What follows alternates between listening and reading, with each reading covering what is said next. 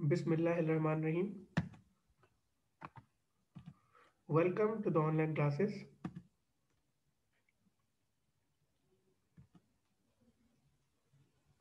This is your teacher, uh, Mehran Khan Sheikh, MSc Pakistan Studies, lecturer, Cadet College, Panuakil.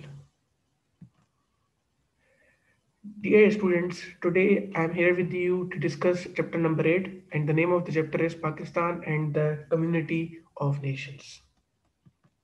Committee of Nations.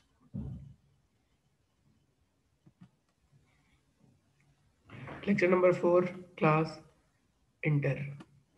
Introduction. So Dear students, I am starting this chapter by giving you the brief introduction of this chapter. So be very attentive. Try to be very much attentive and concentrate. As you know that no state can live in an, in a state of isolation. There's no state which can live in the state of, yes, there is no state in the world which can live in isolation. Isolation यानी अकेला रहना, ठीक है? जिस तरह एक इंसान अकेला नहीं रह सकता, इसी तरह एक स्टेट भी अकेली नहीं रह सकती। States are dependent on one one another state जो है एक दूसरे पर डिपेंडेंट होती हैं। It has to maintain relations on bilateral regional और इंटरनेशनल बेसिस ठीक है? हर स्टेट को चाहे वो बायोलेटर यानी एक स्टेट को दूसरी स्टेट से रिलेशन रखना पड़ता है, या फिर रीजनल यानी एक स्टेट को अपने इलाके की स्टेट्स जो भी उसके नेबरिंग स्टेट्स हैं, इलाके की जो स्टेट्स हैं, उनसे रिलेशन रखना पड़ता है, या फिर कभी कभी बैन अवी यानी इंटरनेशनल लेवल पर भी स्टेट को रिलेशन रखने पड़ते हैं, ठीक है? तो यानी कि इन एवरी कंडीशन अब स्टेट को रिलेशन रखने ही रखने हैं। अब वो बायोलेटरल रिलेशन को ज़्यादा प्रेफरेंस दे रीजनल रिलेशन को ज़्यादा प्रेफरेंस दे, या इंटरनेशनल रिलेशन को ज़्यादा प्रेफरेंस दे, ये स्टेट की अपनी मर्ज़ी अपने कंडीशन और सरकमटेंसेस के ऊपर बेस करता है। अच्छा जब स्टेट मैंने कहा कि एक स्टेट अकेली नहीं रह सकती आइसोलेशन में नहीं रह सकती, और एक स्टेट को दूसरी स्टेट पर डिपेंड करना पड़ता है, और फिर एक स्टेट जो है वो बायोलेटरल रीजनल या इंटरनेशनल बेसिस पर रिलेशन भी रखती है तो उसके कुछ उसूल होते हैं।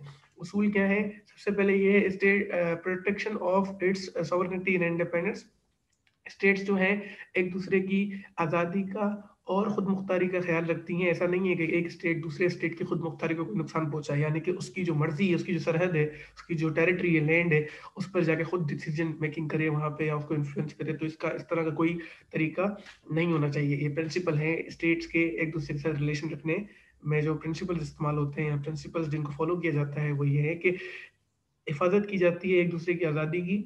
ख्याल रखा जाता है और एक दूसरे की खुद मुख्तारी को नुकसान नहीं पहुँचाया जाता। फिर दूसरा ये है कि respect for both to one another यानी कि एक दूसरे की सॉवरनिटी और इंडिपेंडेंस का ख्याल रखा जाता है, उसकी इज़्ज़त की जाती है। Non interference in the internal affairs of other states कोशिश की जाती है कि दूसरी स्टेट्स के अंदरूनी मामला में मुदाखलत ना करे एक स्टेट दूसरे स्टेट के। Promotion of human rights peace and harmony कोशिश की जाती है कि ह्यूमन राइट्स का हारमोनी का और यूनिटी का ख्याल रखा जाए ज़्यादा से ज़्यादा।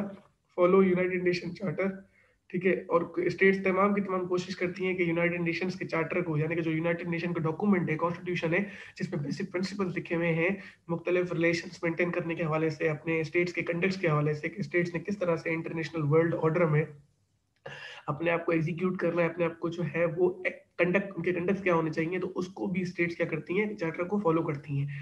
Eliminating racial discrimination and supporting self determination states कोशिश करती हैं ज़्यादा से ज़्यादा कि वो एलिमिनेट करें रिमूव करें, जो भी रेसिस की बेसिस पर, यानी फ़िज़िकल अपीरियंस की बेसिस पर जो भी डिफरेंसेस हैं उसको, और कोशिश करती हैं सपोर्ट करें सेल्फ डिटर्मिनेशन को, यानी अपनी खुद मुख्तारी या अपनी जो भी उनकी मर्ज़ी, अपनी विशेष को जो है स्टेट जो क्या करती हैं प्रोमोट करती हैं एलिमिनेट करती हैं रेशियल डिस्क्रिमिनेशन को, ठीक है?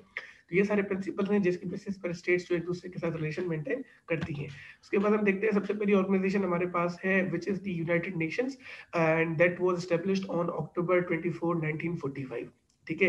यूनाइटेड नेशन एक ऑर्गेनाइजेशन है बैन अवी ऑर्गेनाइजेशन है, ठीक है? इससे पहले अगर हम देखें तो बैन अवी लेवल पे जो हमारे पास ऑर्गेनाइजेशन थी, वो लीग ऑफ़ नेशंस थी।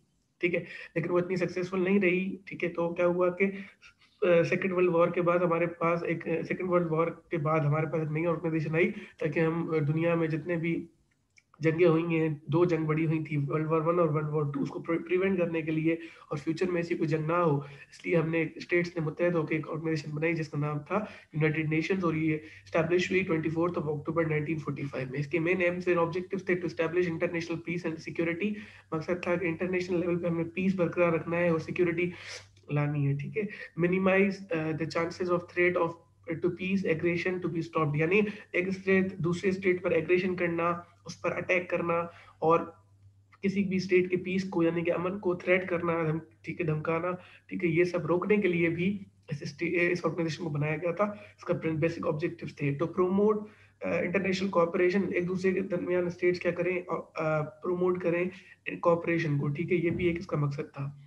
फिर to keep peace throughout the world ये भी कोशिश की जा रही थी कि पीस जो अमन है, उसको ज़्यादा से ज़्यादा स्टेट जो एक दूसरे में बरकरार करें प्रोमोट करें। To develop friendly relation among nations states जो है, आपस में जो है फ्रेंडली यानी दोस्ताना ताल्लुकात रखे।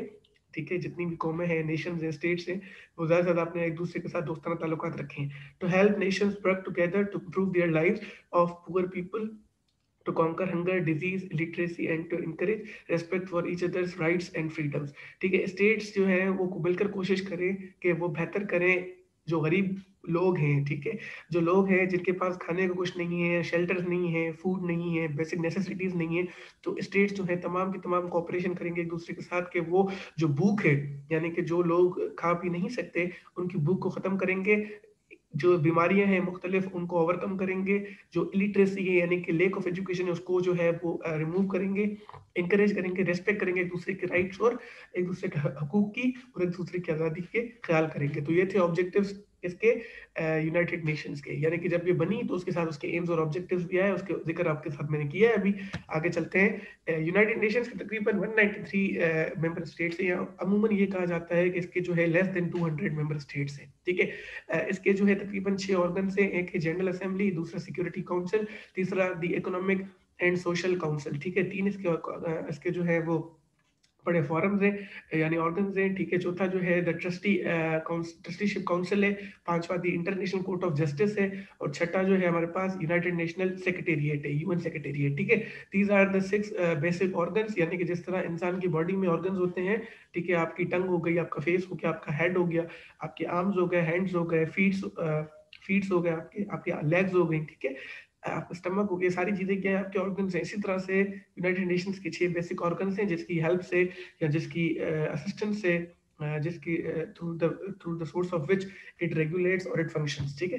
उसके बाद यूनाइटेड नेशंस की कुछ अपनी कुछ बेसिक जो है यूनाइटेड नेशंस की कुछ जो है एजेंसीज भी हैं और वो एजेंसीज जो है, वो फॉर एग्जांपल एक एजेंसी हमारे पास है यूनाइटेड नेशंस की आईएलओ इंटरनेशनल लेबर ऑर्गेनाइजेशन ठीक है? Which is what the agency of इसकी जो यूनाइटेड नेशंस की जो एजेंसीज हैं।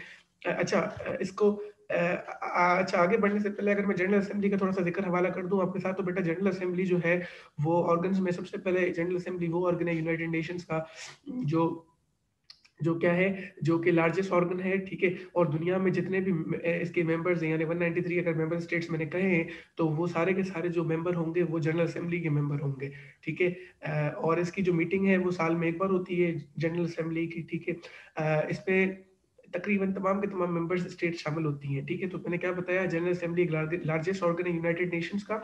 इसमें तमाम के तमाम स्टेट जितनी भी स्टेट्स हैं जिनके यूनाइटेड नेशंस में मेंबर्स हैं, वो तमाम के तमाम इसका हिस्सा होते हैं और इसकी साल में एक बार मीटिंग होती है, ठीक है?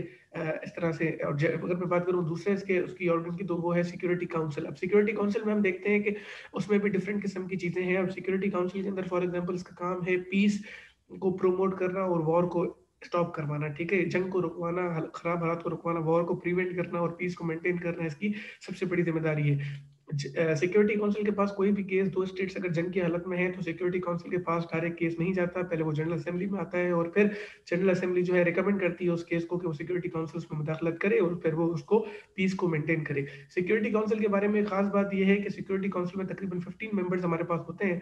पाँच नॉन पाँच परमानेंट मेंबर्स होते हैं, ठीक है, जो कि फाउंडिंग मेंबर्स भी हैं और दस जो है इसमें नॉन परमानेंट मेंबर्स हैं। जो दस नॉन परमानेंट मेंबर्स हैं, वो हर साल हर साल जो है उनकी जो मेंबरशिप है वो चेंज होती है यानी कि हर दो साल के बाद उनकी मेंबरशिप चेंज होती है। पाकिस्तान भी तकरीबन दो बार यूनाइटेड सिक्योरिटी काउंसिल का नॉन परमानेंट मेंबर रह चुका है और जो परमानेंट मेंबर्स है वो सेम है। उसमें आपका रशिया हो गया अमेरिका हो गया ब्रिटेन हो गया फ्रांस हो गया रशिया हो गया और चाइना हो गया, ठीक है? ये पाँच मेंबर्स जो है परमानेंट मेंबर्स है, जो शुरू रोज़े अव्वल से यानी कि जब ये ऑर्गेनाइजेशन बनी थी, उस वक्त से लेकर अभी तक मौजूद है, ठीक है? इकोनॉमिक एंड सोशल काउंसिल इसमें इकोनॉमिक और सोशल इश्यूज़ जो भी स्टेट्स के होते हैं, वो उससे रिलेटेड हल करती है। इंटरनेशनल कोर्ट ऑफ़ जस्टिस की अगर मैं बेटा बात करूँ आपसे तो इंटरनेशनल कोर्ट ऑफ़ जस्टिस में भी यही है कि जो भी स्टेट्स के फॉर एग्ज़ाम्पल दो स्टेट्स जो हैं, वो वो एक दूसरे के खिलाफ कोई केस करती हैं, ठीक है? कोई केस सू करती हैं स्टेट जो, ठीक है? तो ज़ाहिर सी बात है कि वो पाकिस्तान की सुप्रीम कोर्ट में आकर नहीं करेंगी, या ब्रिटेन की जो हाईएस्ट कोर्ट है, वहाँ पे नहीं करेंगी, बल्कि एक ऐसी बैन अवी कोर्ट है, जिसमें स्टेट्स के जितने भी इशूज होते हैं, वो रिजॉल्व किए जाते हैं ठीक है? और इसके तकरीबन सिक्योरिटी जो इंटरनेशनल कोर्ट ऑफ़ जस्टिस है ये नीदरलैंड हैक जो है उसमें इसका हेडक्वार्टर है ठीक है?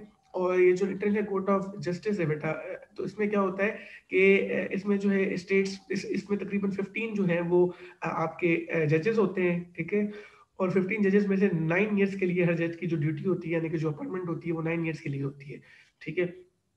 तो इस तरह से इश्यूज़ रिजॉल्व किए जाते हैं। फिर अगर मैं बात करूँ यूनाइटेड नेशन सेक्रेटेरिएट की तो यूनाइटेड नेशंस के अंदर जिस तरह फॉर एग्जांपल हमारे अंदर पास पाकिस्तान है, पाकिस्तान के अंदर सिंध सिंध के अंदर सिंध सेक्रेटेरिएट है, जहाँ पे गवर्नमेंट ऑफिसर्स बैठते हैं, ठीक है?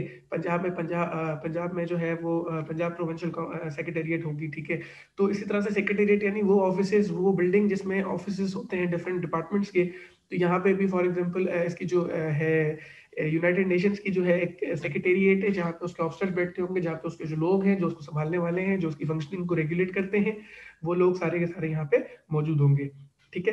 इसके ये थी इसके ऑर्गेनाइजेशन के हवाले से थोड़ी सी डिस्कशन बाकी चीज़ें डिटेल में आपकी बुक में मौजूद हैं, आप लोग प्लीज़ उसको रीड कर लीजिएगा। इसके बाद अगर हवाले से बात करूँ मैं, फिर एजेंसीज ऑफ़ यूनाइटेड नेशन अगर मैं यूनाइटेड नेशंस की एजेंसीज के हवाले से बात करूँ तो इंटरनेशनल लेबर ऑर्गेनाइजेशन आईएलओ है, ठीक है? दुनिया में जितने भी लेबर्स हैं उनके हवाले से ऑर्गेनाइजेशन बनाई गई, उसका नाम है इंटरनेशनल लेबर ऑर्गेनाइजेशन फिर है फो फ़ूड एंड एग्रीकल्चर ऑर्गेनाइजेशन ठीक है, जो कि दुनिया में जो एग्रीकल्चर के इशूज हैं, यानी कि फ़ूड के जो इशूज हैं, उससे रिलेटेड जो है, ये जो है एजेंसी बनाई गई। फिर United Nation UNESCO United Nation educational scientific and cultural organization इसका मकसद ये था कि ठीक है साइंटिफिक एजुकेशन और कल्चरल ऑर्गेनाइजेशन को प्रमोट करना, ठीक है, ये सारे रीजन थे। फिर who W H O world health organization दुनिया में जितने भी हेल्थ के इश्यूज़ हैं, उनको जो है वो ओवरकम करना इसकी ज़िम्मेदारी है। फिर द वर्ल्ड बैंक वो उसका जो मकसद है बेटा, वो 1944 में बनाई गई है। दुनिया में मुख्तलिफ़ कंट्रीज़ हैं जो कि अपनी डेवलप्ड कंडीशन में नहीं है तो उनको जो है ये उधार पैसे दे के लैंड करती है मनी ठीक है लोन्स पे इंटरेस्ट पे। लोन देती है interest on the basis of interest ठीक है? और फिर वो जब स्टेट अपनी अपनी जो उनकी भी ज़रूरियात होती है वो पूरी कर लेते हैं तो फिर वो उनसे पैसे ले लिए जाते हैं in the in terms of installments तो ये वर्ल्ड और बैंक उसलिए बनाई गई। फिर इंटरनेशनल मॉनेटरी फंड अगर हम देखें तो आईएमएफ ठीक है, वो भी बनाया गया, जिस, इसका भी मकसद जो है स्टेट्स को लोन देना या पैसे देना on the basis of interest ठीक है? उसके बाद अगर हम देखें इंटरनेशनल सिविल एविएशन ऑर्गेनाइजेशन ठीक है, दुनिया में जितने भी हमारी जो स्पेस ट्रेवलिंग है, यानी कि जो, ठीक है थ्रू द एरोप्लेन और सारी ये तो उसके लिए जो है हमारे पता है एविएशन सिविल एविएशन बनाई गई, ठीक है। तो बेटा ये बेसिक आपका चैप्टर का एक टॉपिक था, जिसको हमने डिस्कस किया है डिटेल में, ठीक है। बाकी इन्फॉर्मेशन अगर आप चाहते हैं तो आप मुझसे पूछ सकते हैं, ठीक है। और आपकी बुक में भी तमाम की तमाम इन्फॉर्मेशन मौजूद है, ठीक है। तो आप उसको प्लीज़ देख लें और if you have any query related to this you are more than welcome to ask me any time Thank you. Till then, take care. Uh, Allah Hafiz.